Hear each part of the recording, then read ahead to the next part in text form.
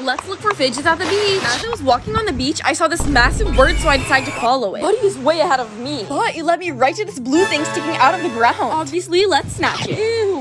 Is this a snowman? How did it not melt in this weather? Then I found this broken crab arm. And when I turned around, There was a pyramid with a tiny fidget on it. So let's grab it with my new hand. Looks like she's not the queen anymore. Oh no, she got stabbed. I can't believe someone would do this to her. So let's save her. I'm so kind.